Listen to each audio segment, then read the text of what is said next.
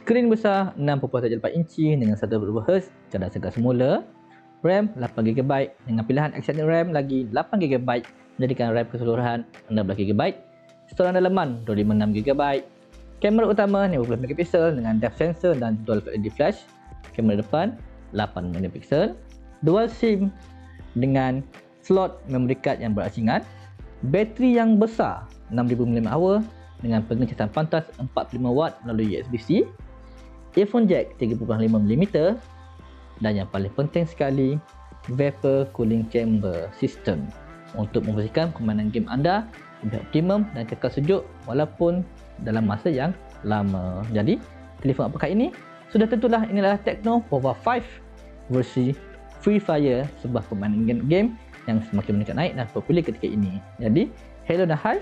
Saya Monso, dari Amerikas dan ini adalah review saya untuk Tecno Pova 5. Tecno Power 5 adalah telefon yang baru dilancarkan oleh Tecno Malaysia dan baru lancar di Malaysia. Tecno Power 5 dengan versi Free Fire. Jadi semua telefon yang berada di pasaran dan dipermasuk oleh Tecno Malaysia ada satu versi saja iaitu 8GB RAM dan 256GB memori, memori dalaman dengan dua warna iaitu gold dan juga black. Uh, dan Tecno ni adalah satu syarikat yang nak, nak dikatakan baru pun tak baru sangat. Uh, dia adalah uh, syarikat yang di bawah syarikat yang besar uh, dalam erti ringkas Tecno dan juga Infinix adalah dua telefon yang agak macam adik-beradik lah. Dia lebih kurang macam Oppo dan OnePlus uh, begitu. Okey, jadi uh, mula-mula sekali kita tengok dia punya spek dulu lah. Uh, jadi SoC dia uh, yang lepas saya dah uh, review daripada Tecno Tecno Spark 10 Pro jadi ni saya review untuk Tecno Power 5 pula. Uh, jadi kalau tengok Tecno Spark 10 Pro tu uh, dari segi spek dia saya rasa lebih kurang. Uh, size dia pun lebih kurang. Cuma bezanya Tecno Power 5 dia upgrade sikit berbanding dengan Tecno Spark 10 Pro iaitu Spark 10 Pro menggunakan Helio G88 uh, untuk Tecno Power 5 ni dia menggunakan SoC yang, le- yang lebih berkuasa iaitu MediaTek Helio G99 Gaming SoC jadi uh, dari segi bermain game tu sudah tentulah uh, Tecno Power 5 ni lebih berkuasa lah. Uh, cumanya untuk dia punya setting kamera uh, saya rasa macam lebih kurang sama saja saya setting dia. Uh, kamera utama 50 megapixel dengan depth sensor dan juga dual LED flash. Um, kalau saya daripada, daripada segi ujian saya saya rasa hasil dia tu lebih kurang sama saja. Sebab saya rasa memang uh, Tecno pun menggunakan uh, lens yang sama lah untuk Tecno Spark 10 Pro juga Tecno Power 5 uh, cumanya dari segi rakaman video dan juga uh, kita ambil gambar snap tu uh, pemprosesan tu dia rasa lebih laju pada Tecno Power 5 lah. Sebab yang of course lah tadi kita tengok SoC dia lebih berkuasa daripada Tecno Spark 10 Pro. Uh, dan lagi satu upgrade daripada Tecno Spark 10 Pro adalah speakernya. Uh, uh, menariknya Tecno Power 5 ni menggunakan stereo speaker. Uh, jadi um, harganya pun uh, pertama sekali kalau kita nak compare telefon dengan telefon lain uh, kita compare dari segi harga lah. Uh, kalau untuk uh, Tecno Power 5 Tecno Power 5 ni uh, berharga RM699 uh, jadi kalau tengok daripada kelasnya dan kelas dan harganya uh, boleh dikatakan kategori entry level upper entry level. Kalau tengok uh, telefon lain yang berada di pasaran dengan harga lebih kurang ni saya tengok uh, saya dah research hanya dua saja yang mendapat uh, perhatian saya iaitu Redmi 10 dan juga Poco M4. Uh, jadi dua telefon ni yang saya saya rasa direct competitor untuk Tecno Power 5 dan seterusnya tentulah daripada brand yang sama Tecno Spark 10 Pro. Tapi daripada keempat-empat uh, telefon ni yang berada di Malaysia sekarang ini bagi saya daripada spec wise uh, yang menang saya rasa Tecno Power 5 lah. Uh, dari segi harga dan juga apa yang kita dapat. Yang pertama sekali kita dapat uh, RAM dan juga storaman dalaman yang terbesar dalam kelas dia untuk harga ni di Tecno Power 5 uh, sebabnya RAM kita dapat 8GB uh, dan juga extended RAM tu uh, itu boleh katakan software magic lah. Uh, itu kita tolak tepi dulu. Dari segi hardware sendiri dia datang right out of the box 8GB RAM. Dan juga itu yang terbesar. Sebab kalau Poco M4 dan juga Redmi 10 hanya 6GB itu varian yang paling besar dan seterusnya storaman dalaman 256GB ini juga Tecno Power 5, Tecno Power 5 juga yang paling besar bagi ha, Poco M4 5G dan juga Redmi 10 pun sama dia bagi setakat 128GB sahaja cuma kekurangannya untuk Tecno Power 5 ni dia hanya support sehingga 4G sahaja sebab menggunakan chipset lama Helium G99 gaming. Okey. Sama juga dengan kamera belakang, kamera utama, Techno Power 5 juga yang terbesar itu memberikan kita sehingga 50 megapixel. Bateri juga Techno Power 5 yang bagi yang paling besar 6000 mAh. Saya tak jumpa telefon lain yang bagi bateri sebesar ini dan ter- termasuk juga dengan charging pengecasan pantas 45 watt. Tak ada telefon lain yang saya tengok yang saya perasan di pasaran setakat ni yang harga dia 700 ke bawah bagi fast charging sehingga 45 watt. Redmi 10 dan Poco M4 bagi charging setakat 18 watt sahaja. Dan Tecno Power 5 bagi kita fast charging 45 watt. Dan yang paling best sekali dengan Tecno Power 5 ni, Tecno bagi kita semua jajan-jajan, sekali casing, clear casing dan power brick fast charging. Kita dapat power brick fast charging nampak ni. Tecno Tecno 45 watt fast charging. Kita dapat siap-siap dalam kotak dan charging cable berserta dengan earphone jack. Earphone jack, earphone jack ni saya tak tahulah um, bila dash time anda beli telefon dapat earphone jack. Uh, ini memang mengimbau memori lah. Uh, tapi semua kita dapat termasuk dengan stiker stiker eksklusif Free Fire dan juga kalau kita beli uh, dalam box ni Free Fire semua akan dapat sekeping kad eksklusif yang kita boleh redeem untuk skin dan juga uh, kredit in game Free Fire. Okay, ni siapa yang beli semua akan dapat uh, jajan-jajan semua ni lah. Okay. Jadi kita tengok dulu dari segi luaran je tadi saya dah cakap uh, skrin memang besar IPS LCD terang ke tak terang cuba saya, saya ke belakang sikit nampak tak terang ke tak ok ni boleh nilaikan sendiri ada orang kata IPS LCD mungkin tak best tapi bagi saya IPS LCD ni terang saja dan usable. Dari segi touch pun sensitif. Um, taklah uh, sehebat uh, telefon dengan AMOLED super AMOLED uh, dia punya pengalaman menggunakan tu. Tapi uh, bagi saya taklah teruk sangat. Uh, jadi um, kita boleh tengok mungkin mengenai sini apa yang popular lagi? Poco X3 mungkin? Ha, Poco X3 pun lebih kurang juga dengan ni. Ini yang paling penting 120Hz lah. Dia punya refresh rate. Seterusnya pengalaman menggunakan bagi saya Techno Power 5 ni ok saja untuk menggunakan daily life. Uh, daily use saya dah install uh, Instagram, Facebook, Facebook Page Manager dan juga uh, WhatsApp saya dah install dan juga termasuk dengan game lah. Untuk kegunaan seharian, saya rasa puas hati. Tak terasa sangat bila saya bertukar daripada saya punya uh, telefon utama dekat telefon Techno Power 5 ni tak terasa sangat sebab uh, multitasking, buka banyak tab, buka uh, banyak sosial media sekaligus. Uh, tak tak ada rasa beza sangat lah. Uh, dan juga uh, fingerprint dia pun laju. Okay. Laju saja. Okay, kunci. Kunci. Okay, fingerprint hardware macam saya cakap, saya lebih suka fingerprint reader yang berbentuk fizikal macam ni berbanding dengan dalam uh, pada skrin lah sebab nombor satu dia lebih laju dan juga dia lebih reliable lah bagi saya lebih reliable ok um, Techno Power 5 uh, keluar daripada kotak terus dah Android 13 uh, jadi tak ada alasan lah untuk telefon lain. Ada telefon tu daripada uh, jenama utama masih lagi ship dengan Android 12 jadi telefon yang tak popular pun dah bagi Android 13 bro. Jadi kenapa telefon yang popular bagi Android yang ketinggalan zaman? Tapi untuk Techno Power 5 jangan risau.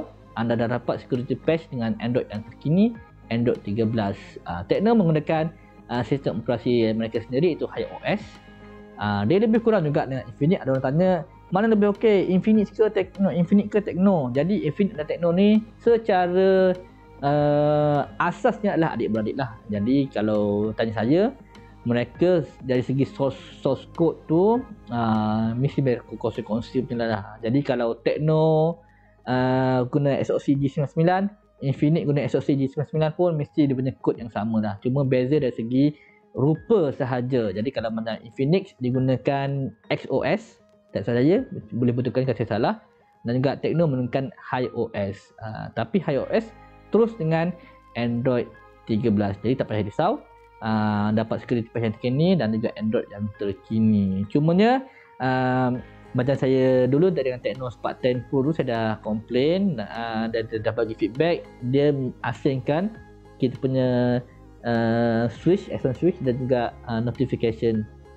Uh, dia bersihkan. Kalau kita daripada swipe daripada kanan akan keluar menu ni dan switch-switch kita tu. Uh, bila kita swipe dari kiri dia akan baru dia akan keluar notification. Jadi kalau macam saya saya lebih prefer switch uh, swipe dari tengah dan terus keluar semua action center dan juga notification. Dan uh, Tekno tak bagi kita option lah untuk buat macam tu. Kalau contoh macam Xiaomi MIUI dia bagi kita option untuk asingkan ataupun untuk sekalikan. Uh, jadi kalau saya guna MIUI saya akan sekalikan lah. Uh, tapi ada orang suka ada orang tak suka. Macam saya personally saya tak suka. Jadi saya harap Tekno akan bagi kita option lah untuk kita gabungkan uh, sekali uh, action center dan juga notification center tu. Okey, seterusnya um, HiOS uh, ada banyak fungsi AI uh, macam Techno Spark 10 Pro saya komplain bila saya on AI function tu terasa agak melambatkan sikit lah.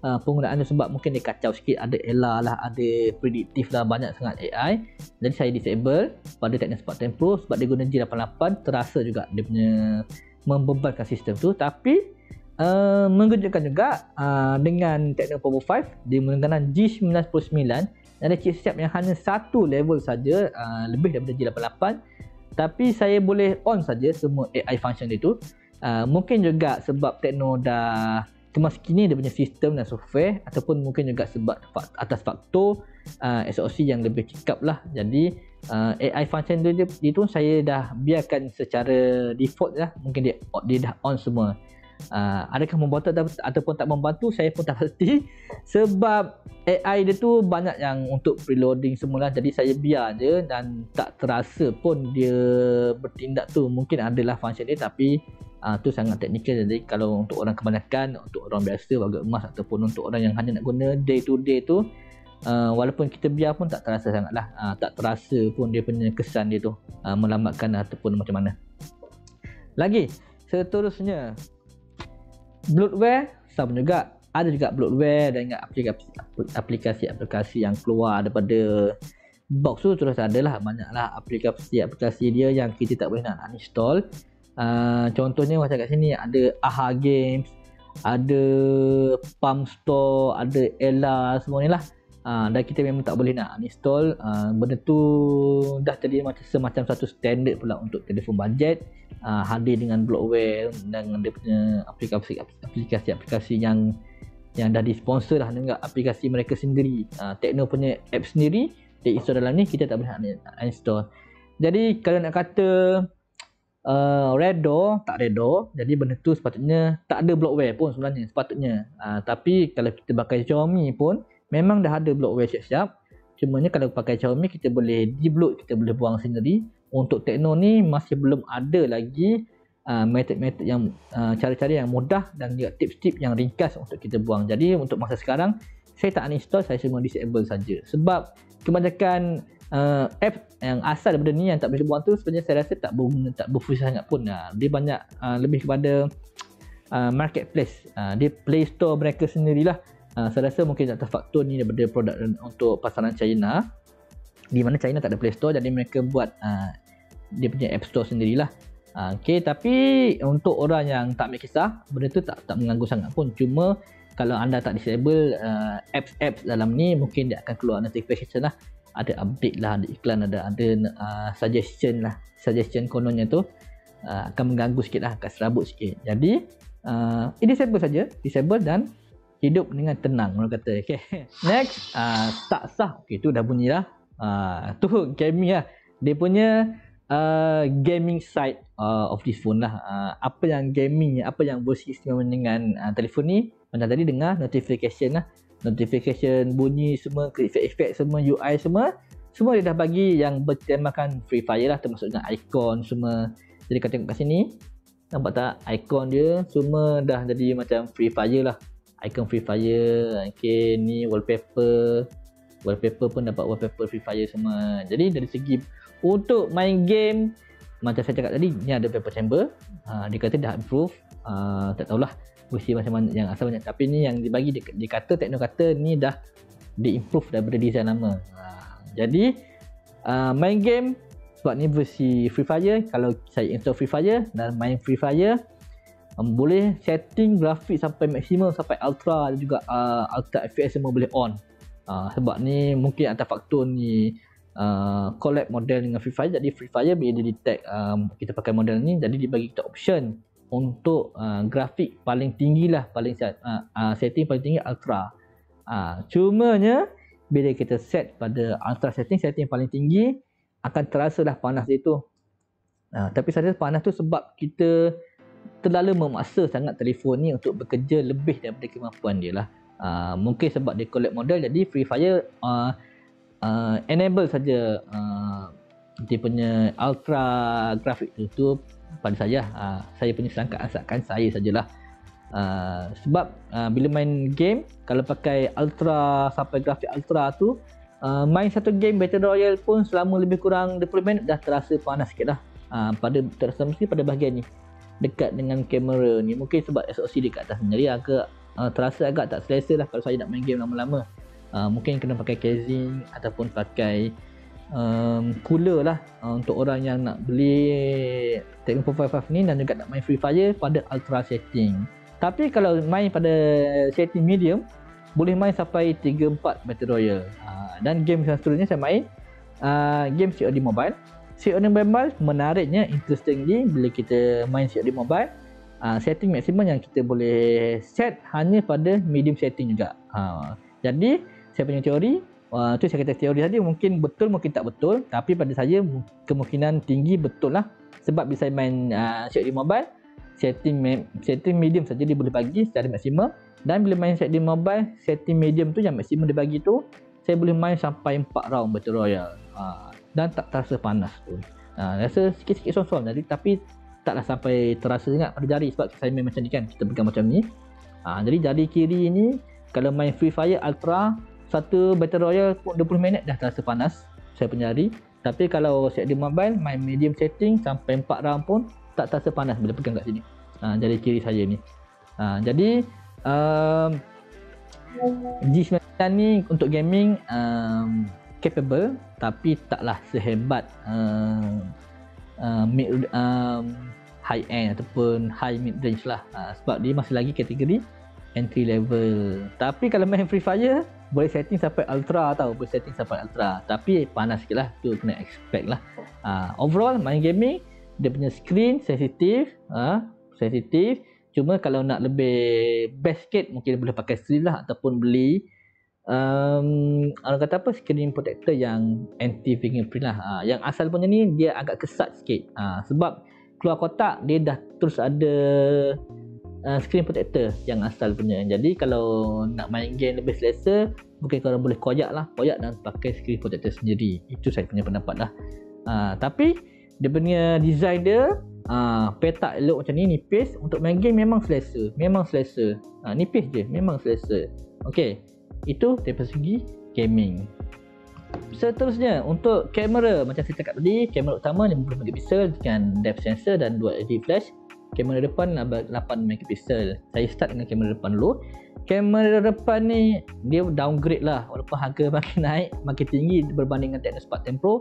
Tapi kamera depan dia downgrade sebab Technospark 10 Pro ada dua LED kat depan untuk selfie uh, Techno Power 5 tak ada uh, lampu depan untuk selfie jadi tu agak spoil lah uh, agak kecewa sikit bagi saya Ha, tapi kamera belakang saya rasa macam dia guna sama je dengan Techno Spark 10 Pro. Spark dua-dua ada 50 megapixel dan saya tengok macam lebih kurang sama je dan hasil dia pun lebih kurang sama dengan Techno Spark 10 Pro.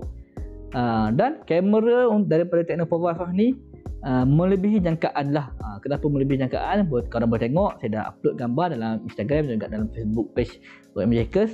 Uh, dia punya gambar vibrant, uh, punchy dengan cukup detail. Untuk night shot dia ada night mode super night mode. Uh, saya dah ambil gambar malam dekat UUM dekat Changlon uh, dekat kedai sebanyak saya dah try lah. Uh, korang boleh tengok sini untuk night mode pun dia berfungsi lah. Dia bukan uh, palsu lah dia punya night mode. Night mode dia memang dia punya sistem dia algorithm dia memang uh, menjadi berkesan.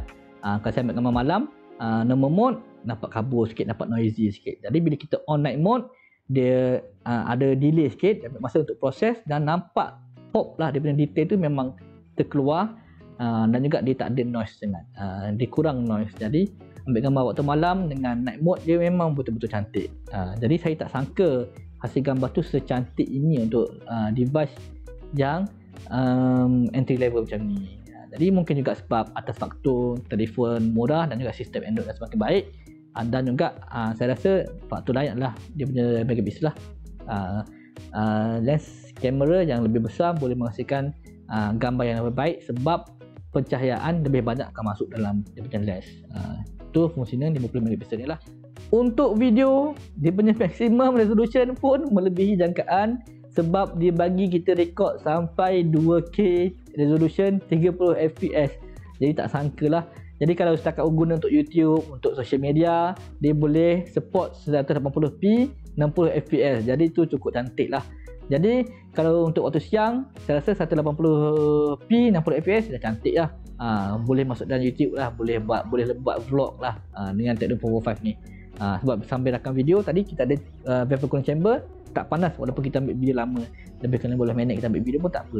Okey je. Ha, tak panas um, ada panas sikit lah. Kalau cakap tak panas tu menipu lah kan. Ha, dia ada rasa panas. Ha, tapi terkawal ha, dia tak sangka juga vapor chamber tu berfungsi juga masa kita nak ambil video. 2K FPS um, susah nak cakap. Ha, nampaklah 2K dia tu tapi sebab dia 30 FPS je uh, jadi taklah wow sangat lah. Tapi uh, the fact dan dia boleh rakam sampai 2K resolution tu agak wow lah bagi saya untuk FPS entry level. Jadi jangan risau semua saya akan masukkan dalam uh, video ni. Contoh dia nanti korang semua boleh tengok lah. Uh, jadi atas pendapat masing-masing lah uh, untuk video dan juga untuk gambar tu. Ada orang suka uh, color temperature macam tu. Ada orang suka temperature macam ni. Ada orang suka uh, processing macam tu. Jadi itu agak subjektif jadi kan untuk saya sebab ni review saja kan.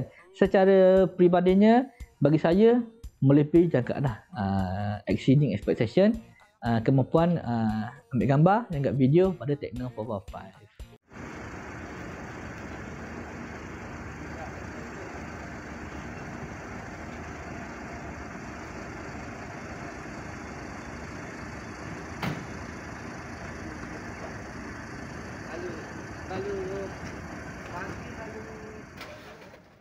1080p 30 fps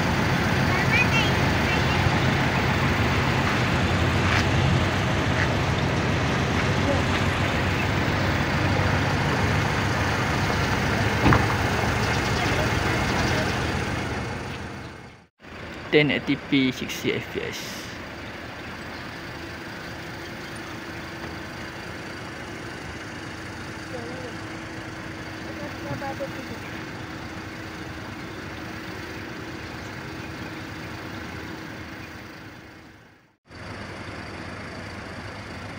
2K 30 FPS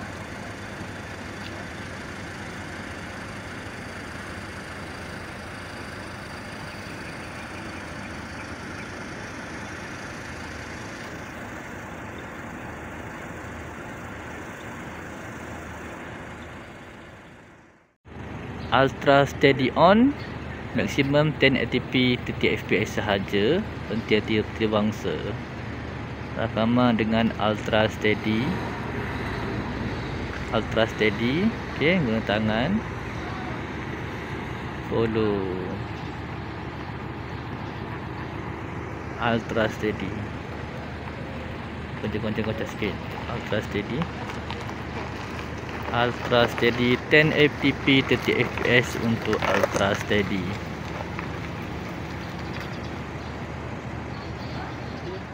Power 5 Jadi um, Itu sajalah review dari saya Secara ringkasnya Setelah 3, lebih kurang 3 minggu Menggunakan Techno Power 5 ni. Uh, Cadangan saya Untuk pengguna Techno Power 5 ni Kalau korang nak bagi untuk Parent Ataupun bagi pada um, Macam mana kata Budak-budak sekolah menengah ke ya, Sebagai first device mereka Ataupun nak upgrade sikit Peranti lama uh, Parent-parent kita pun uh, bagi saya Techno Pro ni antara calon yang sesuai lah. Uh, juga dia dalam kategori yang boleh kata entry level lagi sebab di bawah 700 uh, tapi uh, dia punya downside dia tak support 3G dia support 4G je. Jadi jadi saya tak tahu mungkin nanti Techno Malaysia akan masukkan Techno Power 5 5G mungkin akan masukkan uh, dan juga mungkin juga tidak saya tak tahu sebab Techno tak bagi lagi uh, sebarang maklumat pada saya.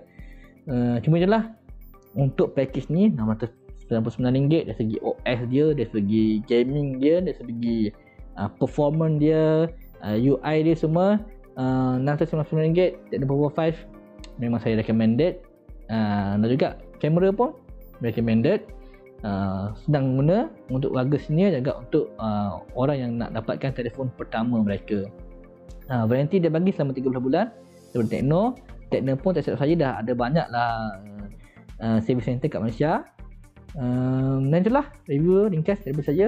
Mula Bongso daripada ringkas untuk Techno Papa 5